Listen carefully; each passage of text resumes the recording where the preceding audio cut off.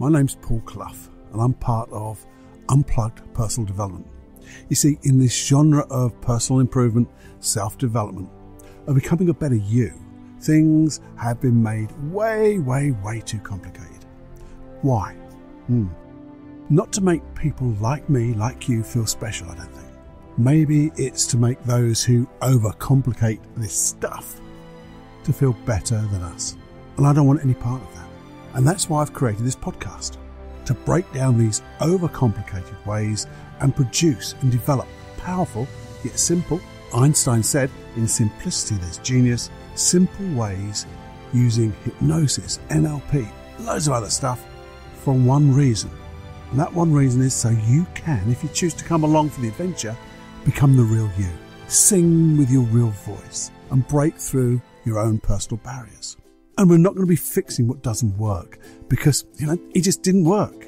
But we're going to find better ways. And we're not going to be using painful ways of the old ways and old stuff.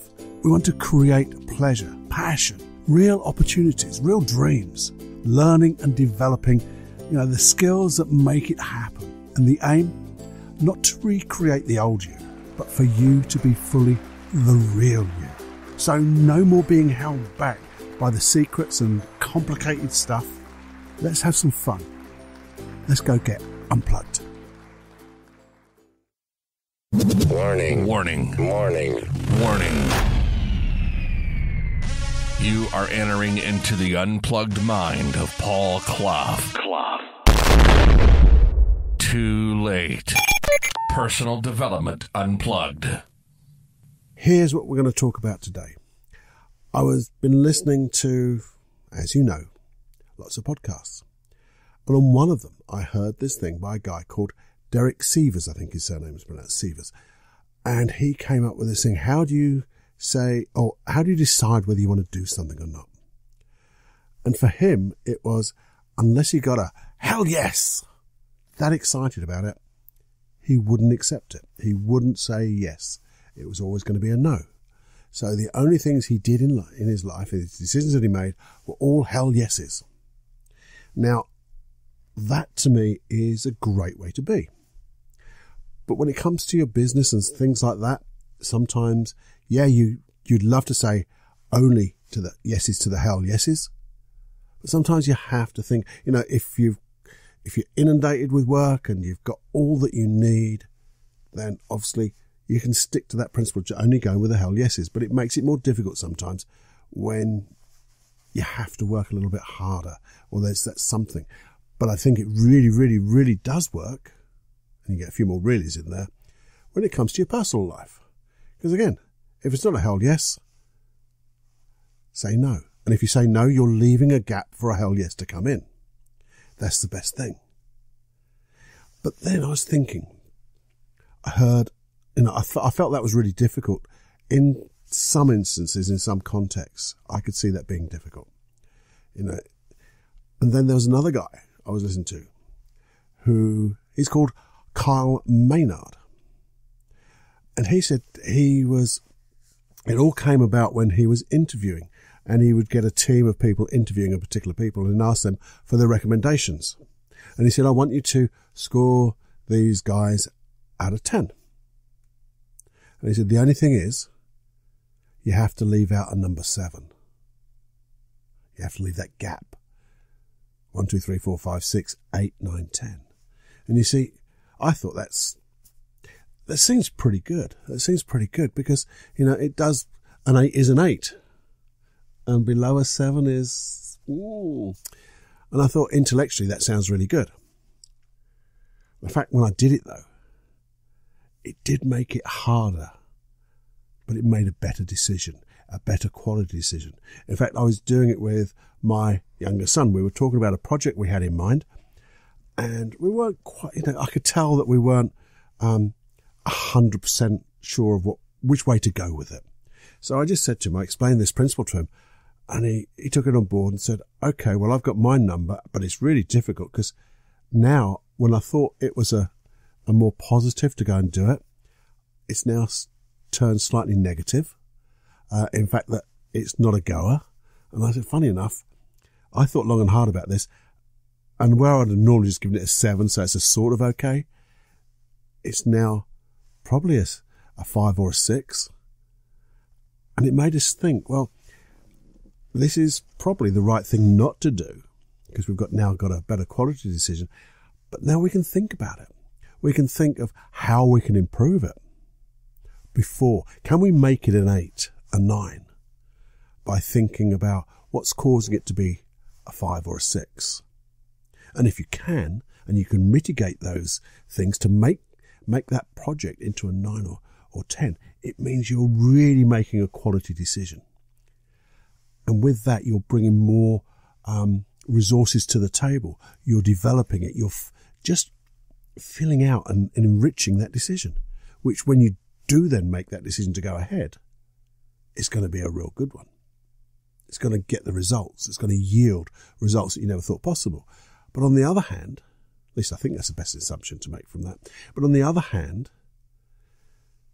if it stay, stays and remains less than seven, then really you ought to decide maybe let's just park it for a little while until something comes up, if it does come up, but leave space for us to consider new projects, new things, not mull over things. We've done it, we've decided, and we're either doing it with an eight or a nine, or we're parking it and seeing what happens in the future. Maybe things will change. Maybe they'll change and kick it completely out the parking lot.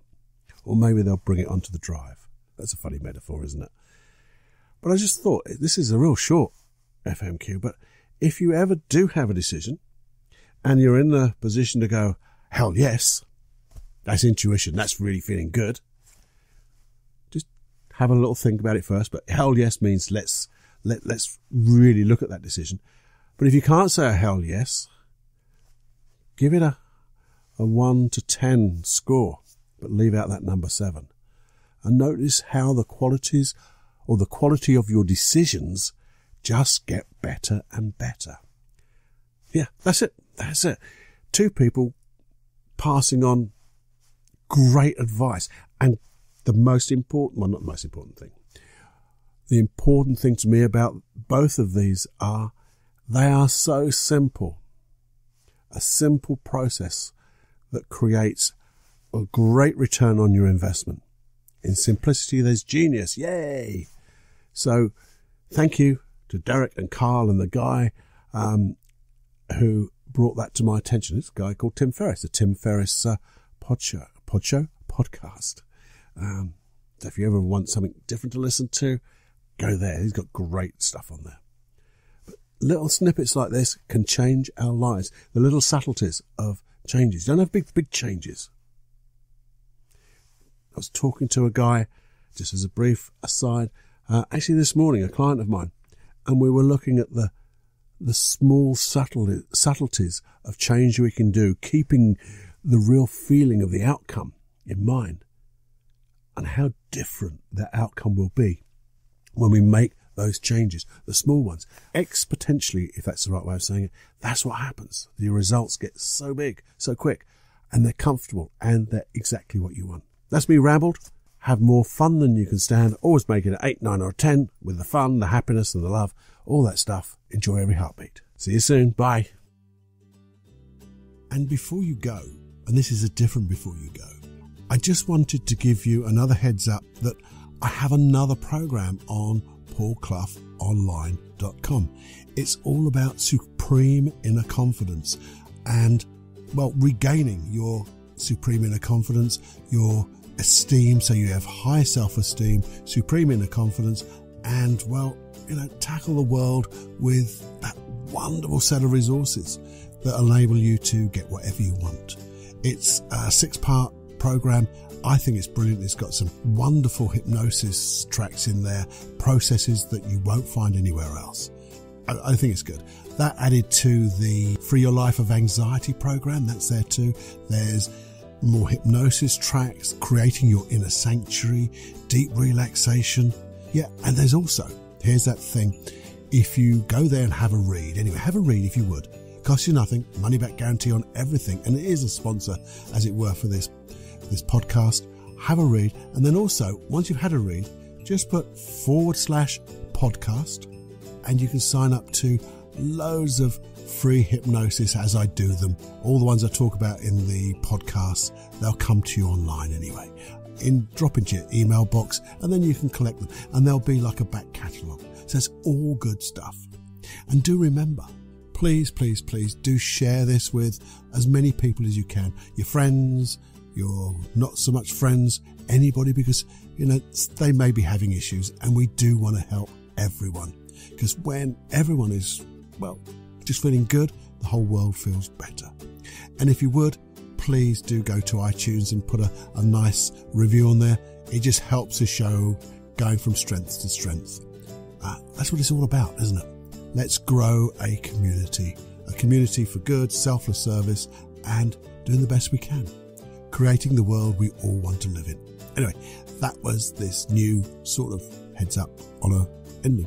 Okay, enjoy, have more fun than you can stand, and as usual, enjoy every heartbeat. Personal, personal development, personal development, unplugged, um, um, unplugged, um, unplugged, unplugged.